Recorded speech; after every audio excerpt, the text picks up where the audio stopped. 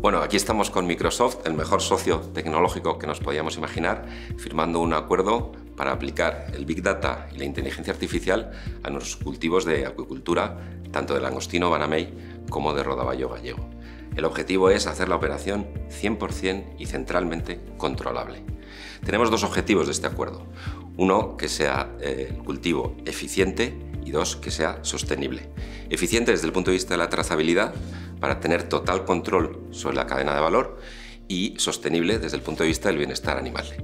No podemos olvidar tampoco la formación de nuestra gente, a las que le tenemos que dotar de skills para eh, que sean eh, efectivos usando estas herramientas tecnológicas. Estamos en Nicaragua, en Guatemala, en Ecuador, pero también en nuestro centro tecnológico del Grove, en Pontevedra, y habituarles a usar estas nuevas tecnologías en su trabajo diario. En definitiva, es una apuesta por la acuicultura.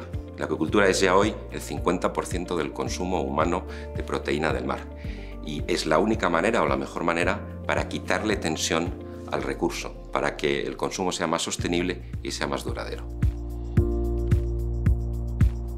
La digitalización y la sostenibilidad son las fuerzas fundamentales que nos permiten reimaginar el mundo y reactivar la economía.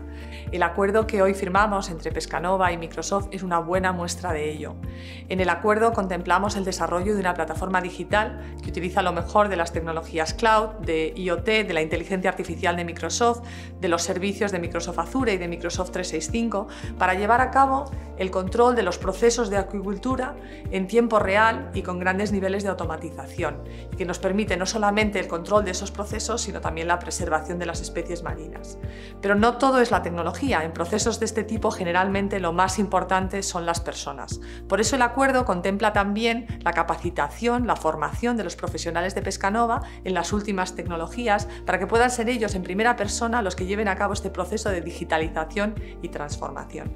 Creo de verdad que estamos ante algo muy grande, que la alianza global entre las dos compañías puede resultar no solamente en la transformación de los procesos de acuicultura, sino en esa conservación de las especies marinas que buscamos eh, las dos compañías. Y personalmente estoy deseando poder acercarme al Pescanova Biomarine Center en, en Ogrove, en Pontevedra, para poder verlo en acción.